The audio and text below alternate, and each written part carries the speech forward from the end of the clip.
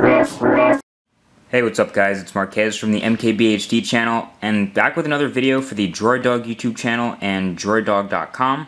Today we're going to be taking a look at the Android 4.0 keyboard which is now available for free in the Android market for every Android phone. So if you're running 2.x or maybe even 1.6 you can use the Android 4.0 keyboard. So I'm going to go ahead and open the SMS app here.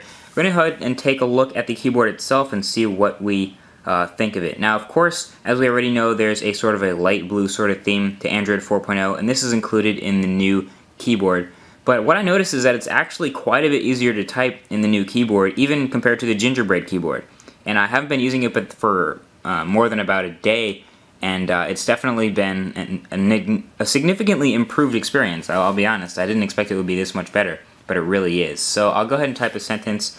Uh, will say that the quick brown fox jumped over the lazy dog.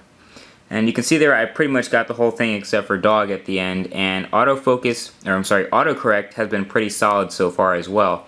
So if you miss maybe one or two keys you'll be able to get the word pretty much spot on uh, with one of the autocorrect words.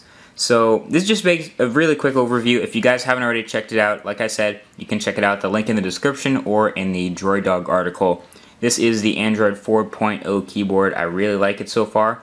And uh, I'm definitely looking forward to getting my hands on the Galaxy Nexus when I do order that.